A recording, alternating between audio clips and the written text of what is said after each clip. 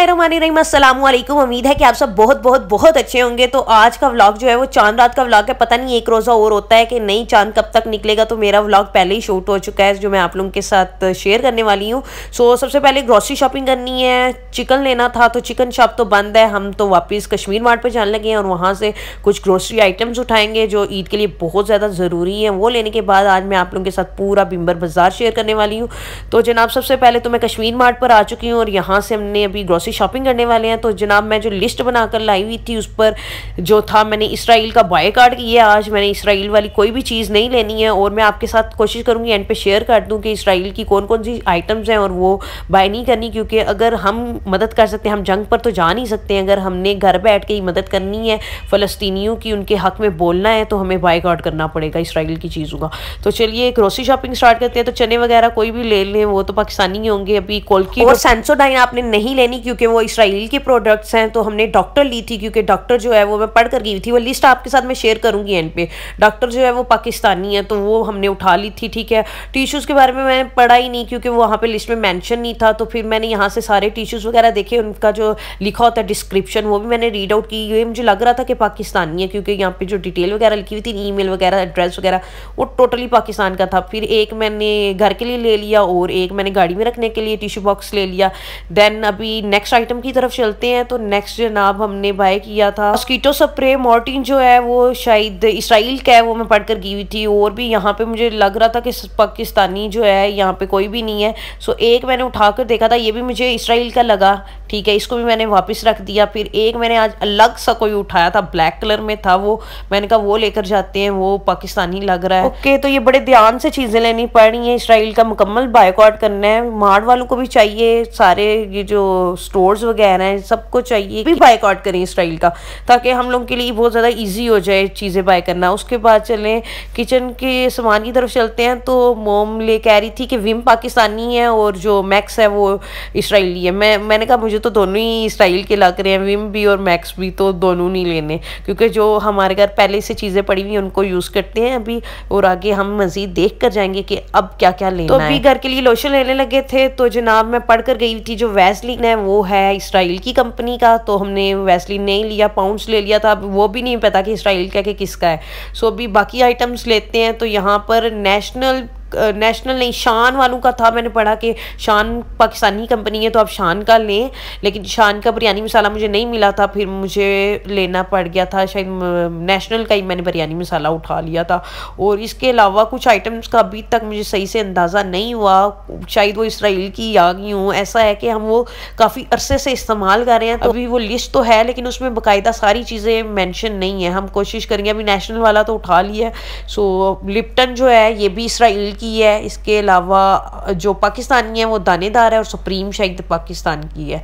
और दाने तपाल दानेदार। और फिर मैं आइसक्रीम्स वाले आइसक्रीम्स की तरफ़ गई तो जनाब आइसक्रीम का मैंने सिर्फ़ फ्रिज खोल कर ही देखा था। मैंने आइसक्रीम बाय नहीं की क्योंकि मेरा गला बहुत ज़्यादा ख़राब हुआ था। मैंने कहा देख कर ही अपना दिल भर लेती हूँ। फिर मैंने बंद किया।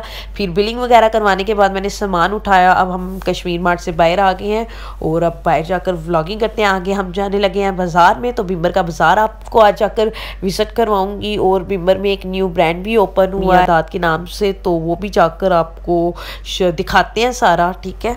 सो लेट्स गो अभी हम आ गए थे उनके ब्रांड पर। तो जनाब, ये बिल्कुल मीरपुर चौक आप जाएँ तो डिस्काउंट बेकरी के बिल्कुल राइट साइड पर। तो चलिए, अंदर चलते हैं और अंदर जाकर विज़िट करते हैं और आपको सब कुछ दिखाती हूँ।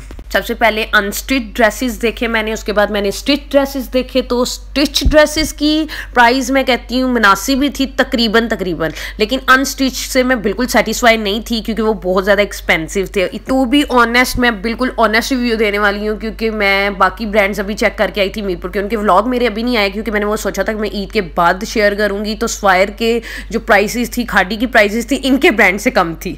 सो अभी हम चले गए हैं भिम्बर बाज़ार में मुस्लिम बाज़ार है, जो बिम्बर का यहाँ पे हमें एक शॉप नज़र आई बट फैब्रिक इनके पास काफ़ी ब्रांड के भी ड्रेसेस थे और काफ़ी मुनासिब कीमत में थे ठीक है? और इसके अलावा हम ड्राई फ्रूट की शॉप पर जाएँगे और आपको पता है मैं हमेशा यहाँ पर जाती हूँ और यहाँ का व्लॉग आप लोगों के साथ शेयर करती हूँ। और हम ड्राई फ्रूट यहीं पर लेते हैं घर के लिए और यहाँ से जनाब हमने बादाम लिए बादाम। बहुत अच्छे हैं। इससे पहले मैंने एक स्टोर से बादाम लिए थे और वो बिल्कुल अच्छे नहीं थे। मैं बिल्कुल ऑनेस्ट रिव्यू देने लगी हूँ आज के बाद क्योंकि बहुत हो गया ये व्लॉगिंग के चक्कर में। अच्छा अच्छा बोलना सबको। अब मैं बिल्कुल ऐसा नहीं करूँगी। मैं बिल्कुल ऑनेस्ट मैंने इनको भी बोल दिया कि अखरोट कड़वा होता है।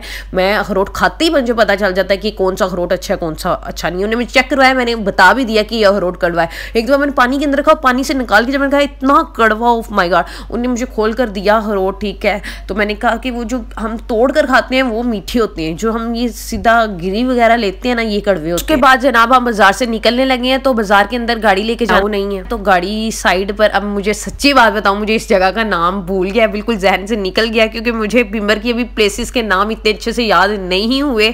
सो अभी हमने गाड़ी इस साइड पे पार्क करवाई थी मुझे नहीं पता। अगर आपको पता है तो काइंडली प्लीज़ कमेंट बॉक्स में बता देंगे इस जगह कौन सी है। आई डोंट नो अगर मैं इसको हॉस्पिटल बोल दूँ या कुछ और बोल दूँ मेरा मुझे डर है कि मैं कुछ गलत ना बोल दूँ इसलिए मैं इस जगह का नाम ही नहीं मैंशन करने लगी हूँ। बाज़ार इंटर होने से पहले जो आती है ये जगह। अब हम बाहर की साइड पर निकलने लगे हैं क्योंकि अब हमारा रह गया है सब्ज़ी वगैरह रह गई है घर के लिए और फ्रूट्स वगैरह लेने हैं तो वो जाकर लेते हैं।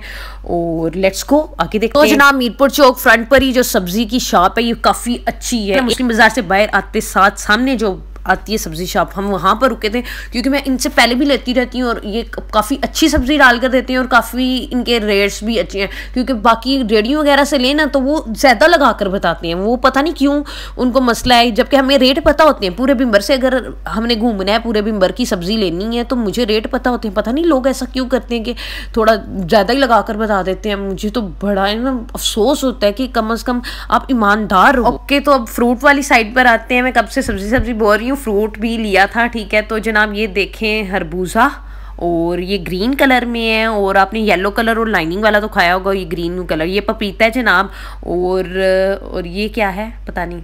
मैं भूल गई हूँ, कोकोनट हाँ।